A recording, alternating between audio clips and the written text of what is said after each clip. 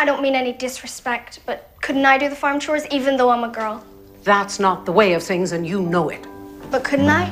I'm as strong as a boy, and I prefer to be outdoors instead of cooped up in a kitchen. It Doesn't make sense that girls aren't allowed to do farm work when girls can do anything a boy can do and more. Come along. Let's get you washed up for supper. It's a wife's duty. Isn't it? Take it on the chin. Let the best man win. Never let the boys know when they've upset you. Girl, shoulders back and stand up straight. Now you have a reputation, Girl, and girls mouth and watch with reputations do not have choices. I look Mind forward to your never minding what you say again. Smile for the camera. Would it be so terrible if I didn't have girls tomorrow? Had such hopes for you, more so than for myself.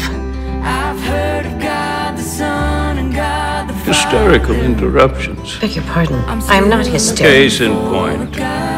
A woman could never have the authority to represent an enterprise such as ours. I don't matter. I can't fly. Is there a ridiculous, hateful book that teaches boys to be men? Do you consider yourself to be delicate and capable? Because I certainly don't. Why is it that who I am and what I want doesn't matter? They can't take your beauty away from you. with your lipstick on.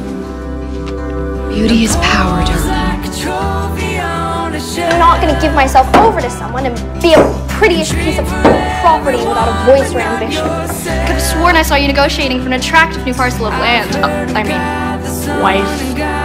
You were supposed to start a new tradition of educated wives who think for themselves.